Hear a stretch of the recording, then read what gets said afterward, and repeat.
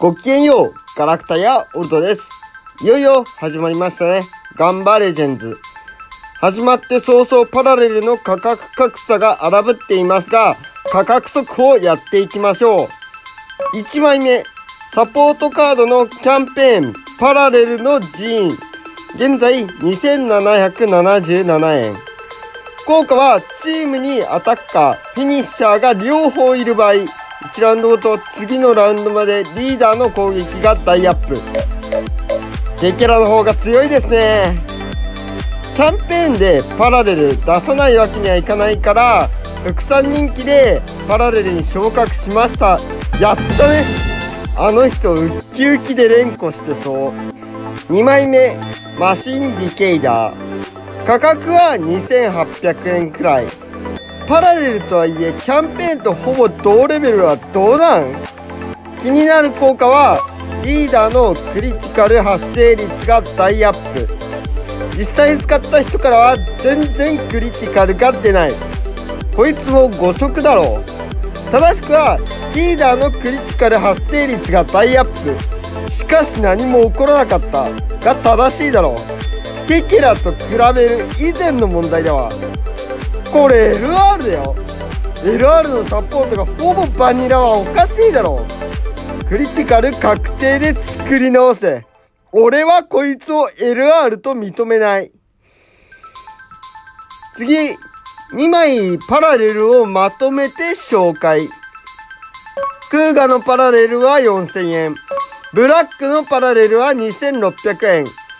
SR のパラレルなので能力は強くないです。なんならキャンペーンの方が強いです。クーガはキャラ人気とイラストアードで価格がついているんだと思います。ここからは LR の紹介です。まずは新1号と新2号。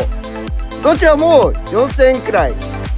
新1号がアビリティでシンクロゲージを上げられます。悪夢の再来です。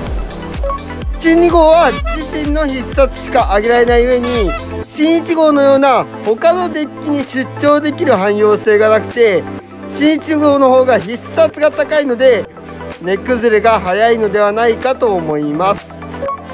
ディケイド。価格が5000円くらい。最初俺たちは LR レーザーブーストキャンペーンクーがケケラであと1枠何にしようかって考えてたんですけどこいつケンアイコンだったんですよね。全てが白紙に戻りました。こいつはバランス調整の被害者です。外務価格が3000円から3500円くらい。K アイコンデッキで SR 対空 SR バッファリーダーにノーマルカードのシリン仕上げにケケラのデッキが相性いいと言われてます。タイクーンが外務を救済するのは胸熱ですね。レーザーブースト。価格は3300円から3500円ぐらい。初動は7000円くらいついてたのでトップレアからだいぶ価格が落ち着きました。ライダーアビリティがラウンド2までスピードレベルが5になるが前評判ほど強くなかったので値段が落ちたのだと思います。それでも強いことには変わりはないので安くなってから買いましょう。外務のパラレル。価格が5000円くらい。この後紹介する他の2枚の価格に比べるとだいぶ安いですがこれは他の2枚の価格がおかしいだけです。レーザーブーストのパラレル。一番安くて1万1000円。初動が1万7000円。外務がかすみますね。ダブルスコアですよ。まあ性能が一人歩きしてたからトップレアになるのも納得ですね。最後 C1 号のパラレル。1万4000円から1万9000円。ここからがハイライトだ。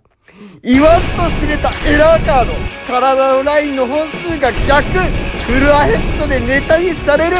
当然運営から交換対応のお知らせが出る始末。おそらくこのカードは初回生産分しか出回らないでしょうね。だって運営の黒歴史だもの。中世版が欲しいのなら二次生産分以降ので当てるかメルカリから買いましょう。間違ってもすぐには交換しないでください。今後の価格の推移としては一時的に値段は落ちますが二次生産分から修正版に差し替わるとエラーカードの価格が一気に上がるのでコレクターなら持っておくべき1枚です。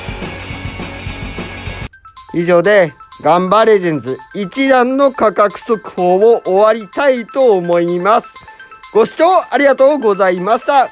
よければ高評価チャンネル登録お願いします。